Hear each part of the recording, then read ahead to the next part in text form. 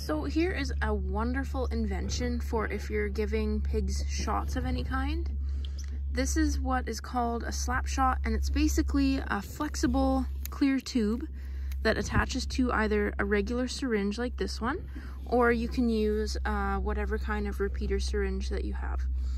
So we use this on pigs, but it would also work really well on cattle, and it works good for any kind of IM intramuscular shot that you're going to use. So what I have in here right now is a Ivomec or a type of dewormer. So basically, um, what makes it such a useful tool is that you have this long, flexible tube. So if the pig runs away or moves or anything like that, you're for one, you're not going to break your needle. And for two, um, you don't have to worry about being right up close to them or chasing them around. You don't have to put them in a chute. You don't have to have uh, really as fancy of facilities as you would um, if you were just using like a regular needle.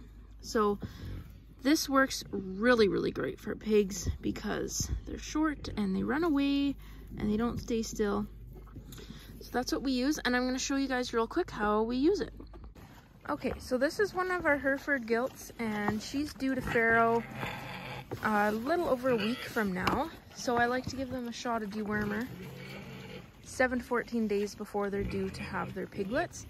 So today we're going to use the slap shot on her and give her her dose of dewormer. So as you can see, she's in a pen with other sows and uh, I don't have her locked in any facility or um, in a chute or anything like that. She's just in an open pen and I can give her her dewormer no problem. So I'll go ahead and show you guys how I do that. Okay, so first thing I do obviously is take the end off my needle. So this is the needle end. And then on the other end of the tube is this end and this is a locked syringe. Also, make sure you're adding an extra 2.5 cc's of medication to fill the tube.